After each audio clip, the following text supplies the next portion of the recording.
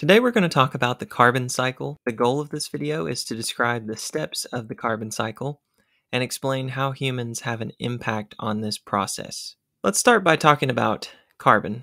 Carbon is the basis of all organic molecules, and it's found in a variety of chemical forms. Note, carbon changes chemical forms as it cycles. This is unlike water. Water is always H2O, but carbon comes in different forms. It can be in the form of carbon dioxide, which is CO2. That's what's in the atmosphere. It can also come in the form of glucose, which is a sugar.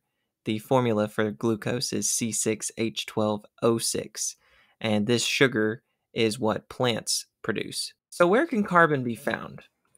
Well, it can be found in a few places. The first is macromolecules. These are very large molecules that are necessary for life.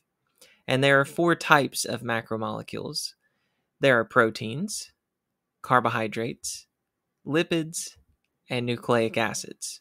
We'll talk more about these four macromolecules later in the course. Carbon can also be found in our atmosphere as carbon dioxide, CO2, it can be found in minerals and rocks, and it can be found in fossil fuels.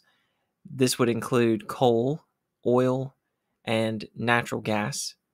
Carbon can also be found in organic or living materials that are in the soil or even in aquatic sediments. Okay, now we want to talk about the main stages of the carbon cycle.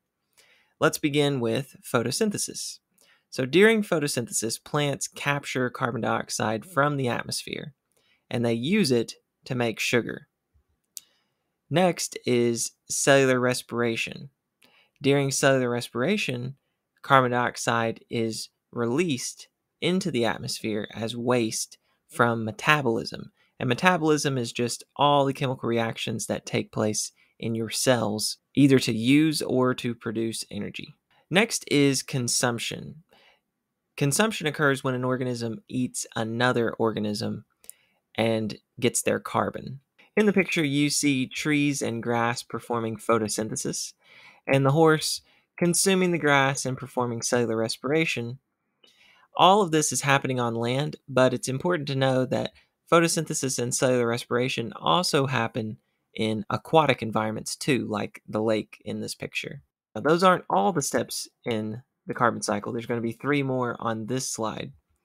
Next comes decomposition. So during decomposition, decomposers break down carbon from dead organisms, recycling it in the soil.